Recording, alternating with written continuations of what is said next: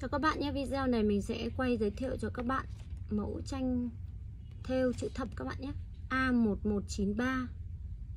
Kích thước là 50 x 41 cm. 50 là chiều ngang còn chiều cao là 41 nhé.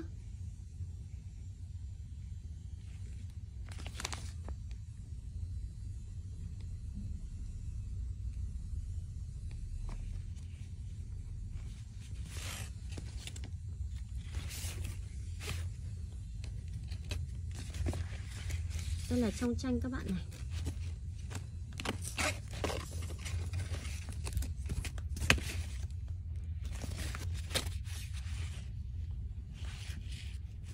Tranh này mình à, cái nền là mình không phải thêu các bạn nhé. Còn đâu các cái phần áo này, đầu tóc là mình thêu hết người mặc ạ. Đều thêu ạ.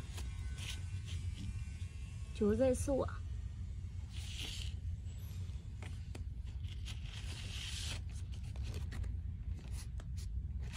Mẫu này thì gồm có 22 màu chỉ. Từ số 1 cho đến số 22 là màu chỉ. Còn ờ, cái bảng ở giữa này nó là ký hiệu trên tranh này các bạn nhé. Ví dụ như cái phần ký hiệu này này Thì các bạn lấy màu số 19 các bạn theo vào nhé.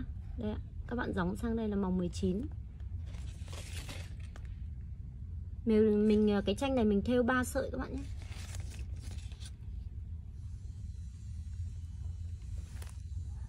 Đây là phần nền này. Phần nền mình không phải thêu ạ. Khi mình thêu xong, mình giặt tranh đi thì cái phần nền mày vẫn giữ nguyên như thế này các bạn. Nó không bị mất màu đâu nhé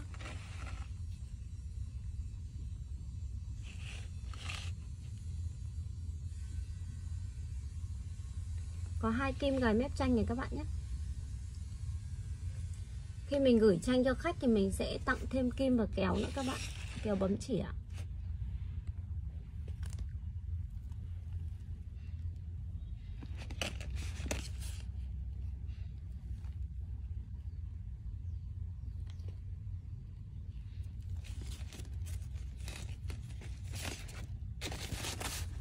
Tranh này có cả tờ chat hướng dẫn đấy ạ.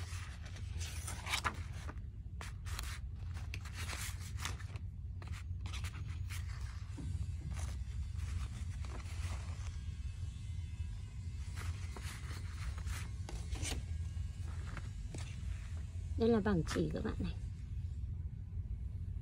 22 màu chỉ.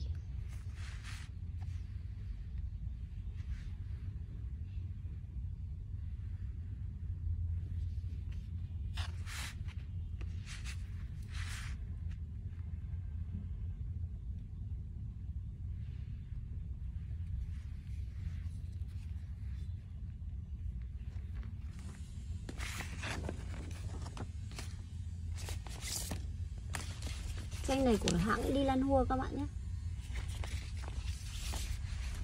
Kích thước này là bao gồm cả cái viền ngoài này các bạn nhé. Đấy.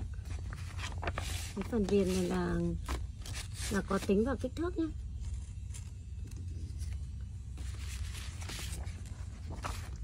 Cảm ơn các bạn đã theo dõi. Mong các bạn sẽ đăng ký kênh ủng hộ shop đấy ạ, Để cũng có thể xem được nhiều video mới của shop.